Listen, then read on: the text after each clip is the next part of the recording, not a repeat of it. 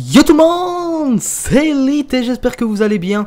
Et aujourd'hui donc on se retrouve pour le second épisode de notre série Mystère Los Santos et dans GTA V où c'est vous qui avez en partie la parole pour le contenu de ces vidéos. Donc aujourd'hui je vais vous montrer un mystère qui reste ou du moins je crois sans réponse. Donc peut-être qu'il a une explication et c'est ce qu'on va essayer de dire dans cette vidéo ou du moins de trouver.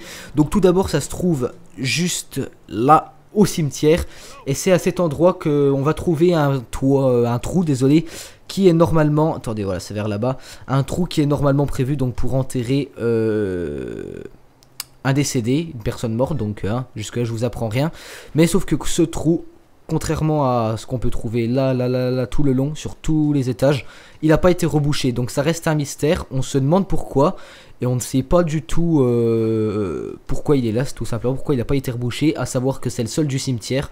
Hein, vous pouvez vérifier un peu par vous-même, hein, après la vidéo, vous irez voir, il n'y a aucun trou qui n'est similaire à celui-ci. Euh, il y a déjà eu le mystère des euh, The... Quand c'est? Attendez, je vais prendre le truc et je vais regarder avec vous.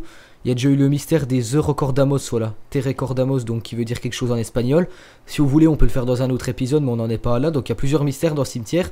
Et concernant celui de Stroud, donc qui n'est pas rebouché, on se demande toujours pourquoi. Bah tout simplement il ne l'est pas. Donc il n'y a pas de plaque euh, en la mémoire de la personne qui est soi-disant décédée. Voilà, comme vous pouvez le voir partout. Donc moi j'ai quelques hypothèses donc concernant cela. Et c'est un peu le but de la série, donc vous allez me dire ce que vous en pensez en commentaire. Donc la première, ce serait peut-être que c'est en mémoire de quelqu'un qui est disparu, enfin qui a disparu de Los Santos, donc de Los Angeles, à une époque ou même d'un autre endroit et qui n'a jamais été retrouvé ni par ses proches s'il en avait, ni par quelqu'un d'autre euh, d'extérieur à sa famille. Donc ça laisse supposer qu'il est oublié, qu'il a disparu, mais peut-être pas qu'il est mort. D'où le fait que ce trou n'est pas rebouché, et tout comme euh, l'affaire qui n'est pas totalement close de cette personne qui aurait pu disparaître. Donc voilà, ça c'était ma première hypothèse. Et la deuxième, j'ai une autre idée, mais c'est un peu plus tiré par les cheveux, hein, c'est un peu plus farfelu, vous me connaissez.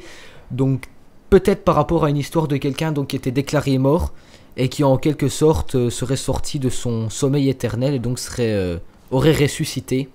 Donc ça reste euh, que des hypothèses comme je le dis, hein, mais je le répète, le but de cette série c'est vraiment qu'elle soit communautaire et qu'elle fasse participer vraiment tout le monde, un maximum de monde. C'est pour ça que vous pouvez faire vos recherches de votre côté, me soumettre en commentaire vos idées ou hypothèses concernant ce mystère-ci.